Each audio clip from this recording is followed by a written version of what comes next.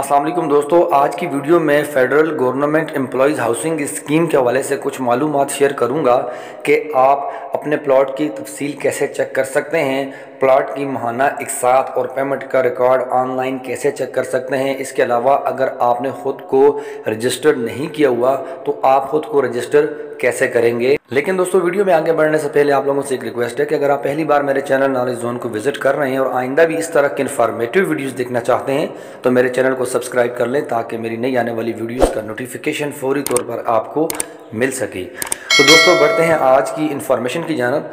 तो दोस्तों federal government employees housing scheme जो है, उसकी एक वेबसाइट बनी हुई है, जिसका लिंक और एड्रेस आपको स्क्रीन पर भी नज़र आ रहा होगा और लिंक आपको मैं डिस्क्रिप्शन में भी प्रोवाइड कर दूँगा। इस वेबसाइट का नाम है G F G E H A dot G O V dot P K जब इस वेबसाइट को आप ओपन कर लेंगे तो यहाँ federal government employees housing authority की एक जो वेबसाइट है वो आपके सामने ओपन हो जाएगी और उसमें मुख्तलिफ़ डिटेल्स नज़र आएँगी, जिस तरह पहले है अबाउट अस है हाउसिंग प्रोजेक्ट्स है कि कौन कौन से प्रोजेक्ट्स चल रहे हैं पॉलिसीज़ क्या हैं। उसके बाद एक ऑप्शन है मेम्बरशिप ड्राइव का। तो मेम्बरशिप ड्राइव में आप जाएँगे तो मेम्बरशिप ड्राइव फ़ेज़ वन है फ़ेज़ टू है। इसके अलावा अपार्टमेंट मेंबरशिप है। ये तीनों ऑप्शंस आपको दिए जाएँगे जब आप यहाँ पर क्लिक करेंगे।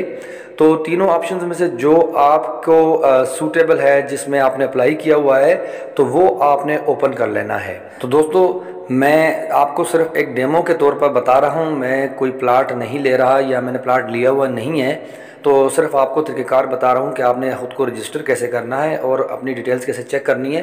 तो नीचे एक ऑप्शन नज़र आ रहा होगा। मैंने मेंबरशिप फ़ेज़ टू को सिलेक्ट किया है तो नीचे एक ऑप्शन आ रहा है, मैंने रेड हाईलाइटर से हाईलाइट किया हुआ है click here to log in यहाँ पर अगर आपने ख़ुद को रजिस्टर किया हुआ है, फिर तो आप डायरेक्ट लॉगिन कर सकते हैं. लेकिन अगर रजिस्टर नहीं किया हुआ तो यहीं पर आपने क्लिक करना है.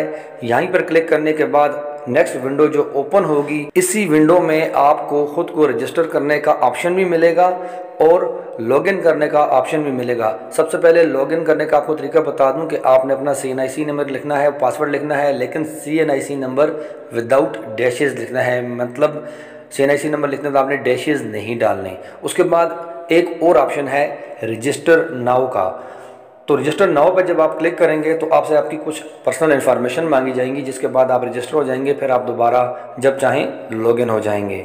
ये देखें फ्रेंड्स जैसे ही आप रजिस्टर नाव पर क्लिक करेंगे तो ऑप्शन आएगा आपके पास न्यू मेंबरशिप रजिस्ट्रेशन यहाँ पर सबसे पहले आपने अपना सीएनआईसी नंबर लिखना है विदाउट डैशेज उसके बाद पासवर्ड आप चूज़ कर लें, अपना नाम लिखें, अपना वैलिड ईमेल एड्रेस दें और उसके बाद अपना मोबाइल नंबर दें और मोबाइल नंबर लिखते वक्त कंट्री का कोड लाजमी इंटर करें। तो इस तरह आपको ख़ुद को रजिस्टर कर लेंगे, जब आप रजिस्टर हो जाएँगे, उसके बाद आप लॉगिन आराम से कर सकते हैं।